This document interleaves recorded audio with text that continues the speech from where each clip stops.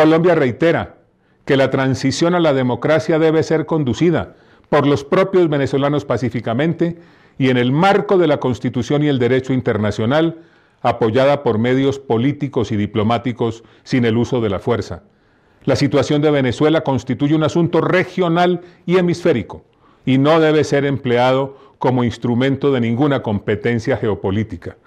En ese sentido, Colombia reitera que cualquier despliegue o incursión militar en apoyo al régimen ilegítimo de Nicolás Maduro pone en riesgo la transición democrática y la normalización constitucional en Venezuela y constituye una amenaza a la paz, la seguridad y la estabilidad en la región.